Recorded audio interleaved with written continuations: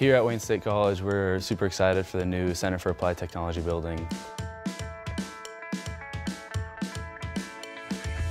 First thing you'd think when you walk in here is probably, wow, you know, it's, it's, a, it's a beautiful building. There's awesome lounge areas for students to sit in between classes. And then when you get into the classrooms, you know, it's really advanced, you know, the drafting lab. As a drafting design major, it's really nice. We have dual screen monitors so you can have your house, a commercial project on one end, and all your information, ideas, and everything on the other side.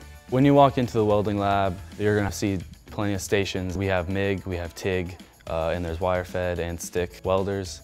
Between the woods lab, the welding lab, the drafting lab, the mechanical lab, the small engines lab, the robotics lab, network communication, you have so many different opportunities to be hands-on, to be in front of a computer working on drafting and working on your commercial houses and projects like that. But then also you have hands-on with being out in the field. I took advantage of Career Fair and I was able to interact with a lot of different companies. Uh, I was able to get an internship with Hausmann Construction, one of the biggest commercial construction companies in Nebraska right now. In my internship, I do work from paperwork to reading the blueprints, reading the plans of the project, of the building.